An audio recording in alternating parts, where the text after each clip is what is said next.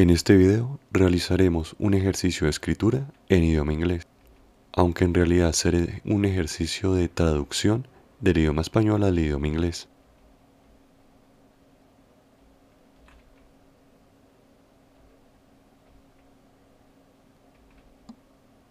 El texto que vemos en pantalla será el que traduciremos o redactaremos en idioma inglés.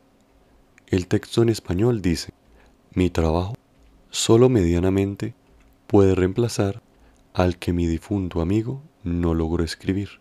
Sin embargo, tengo a la vista, junto con extractos detallados que hizo de la obra de otros, glosas críticas que reproduzco aquí siempre que sea posible. Ahora redactemos esta idea, este párrafo, este texto en idioma inglés.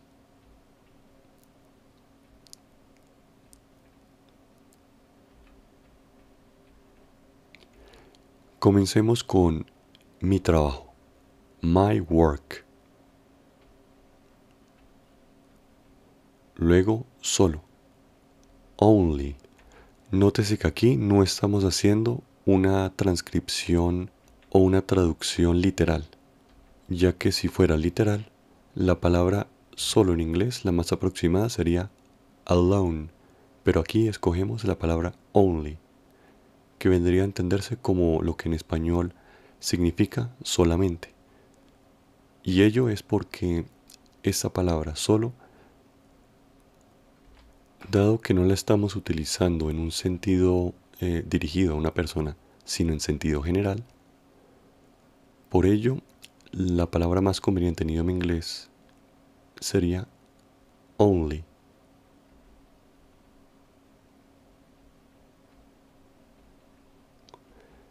Ahora, en estas tres primeras, en esta primera sección de la traducción, podíamos hacerlo hasta cierto punto literal mi trabajo, my work, solo, only. Pero de aquí en adelante, dado que una traducción literal no es lo más conveniente y tenemos que pensar bien las palabras o la forma de organizar las palabras para expresar la idea que tenemos en español, por tanto de aquí en adelante solo nos limitaremos a buscar aquellas palabras que mejor representen el texto que tenemos enfrente para posteriormente buscar el orden y la manera más adecuada de hacer la traducción. Así que, ¿cuál es la palabra que en inglés sería más aproximada al término medianamente? Sería la palabra slight. Slight. Luego la traducción más directa a la palabra puedo, can, can, y luego reemplazar que en inglés es replace, replace.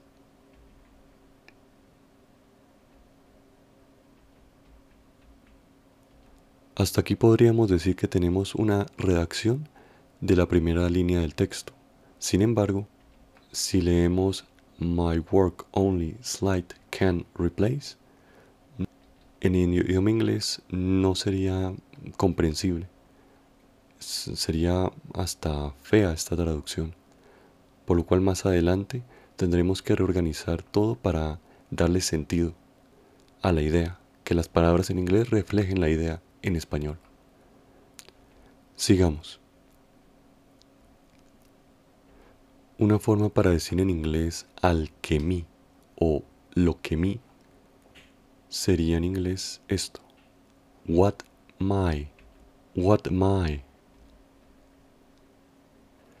sigue la palabra difunto, que en inglés es deceased, deceased, donde la E sonaría como una A y la D al final como una T, deceased.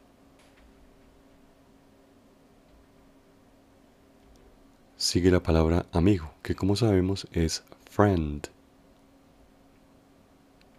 La siguiente palabra sería escribir, write, write y omitimos la traducción de la palabra logro o no logro para más adelante encontrar una forma de organizar la traducción inicial a modo de que tenga sentido. ya que si coloco aquí la palabra achieved o achievement, que es logro en inglés, aumentaría la confusión mm, como la que vimos aquí arriba, donde las palabras están traducidas pero no tienen mucho sentido o están inconexas. Luego sigue, sin embargo, que por cuestiones prácticas elegiremos aquí su traducción más simple, que es but, donde la U suena como una but, but.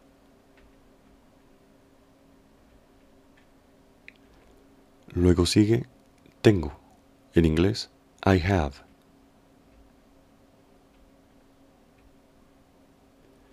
Y luego vista, sight, o mejor dicho, tengo a la vista, podría tener una traducción al inglés mm, del siguiente modo.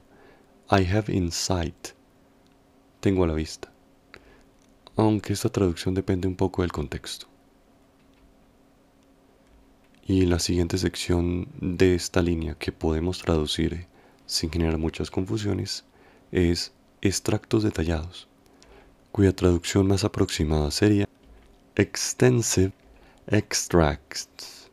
Y digo que es la traducción más aproximada ya que extensive eh, vendría a ser en inglés extensivo o extensos, más que detallados. Pero es la, la traducción más aproximada que podemos tener.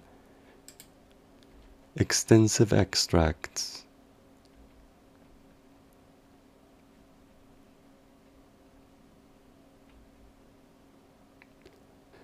Ahora vamos por la última sección del texto.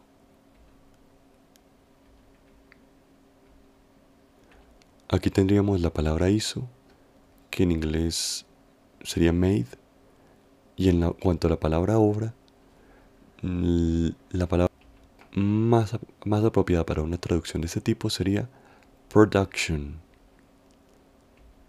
cuya significado vendría a ser más que todo producción production, pero que sin embargo, cuando buscamos la palabra española obra en idioma inglés, por lo general encontraremos production como su traducción más certera. Luego viene la palabra otros, others. Luego decimos glosses, glosas, teniendo cuidado de decir o ya que si nos equivocamos y decimos A, nos pueden entender como glasses y eso significaría gafas. Pero glosses, con no glosses, ellos significan en inglés glosas. La siguiente palabra que podemos traducir sin generar confusión es reproduce. Reproduzco. Reproduce. Luego sigue aquí, en inglés here, here. Y finalmente la frase, siempre que sea posible, que en inglés por lo general se dice as far as possible, as far as possible, que no sería una traducción mm, literalmente exacta, ya que la palabra far hace referencia a lejanía y por tanto as far as possible vendría a significar algo así como tan lejos como sea posible, pero que realmente, a pesar de que se usa la palabra far, esta, esta frase en idioma inglés tendría el mismo significado que para nosotros decir siempre que sea posible. As far as possible.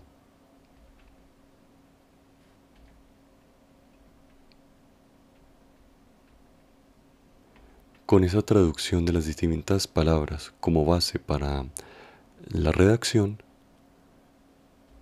y tomando en cuenta de que siempre podemos elegir otras palabras sinónimo, como en este caso, en lugar de decir reemplazar como replace, podríamos también decirlo como substitute, que significaría algo así como sustituir, es decir, un sinónimo de reemplazar. Ahora sí, veamos cuál es la traducción real de este texto del idioma español al idioma inglés. My work can only provide a slight substitute for.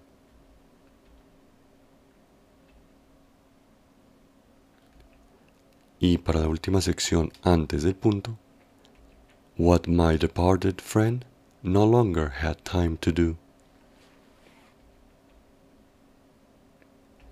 But I have the critical notes which he made to his extensive extracts from others.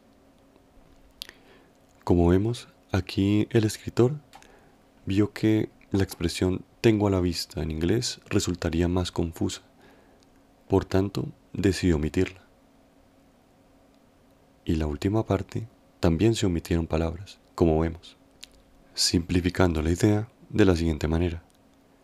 And as far as possible, I reproduce them here.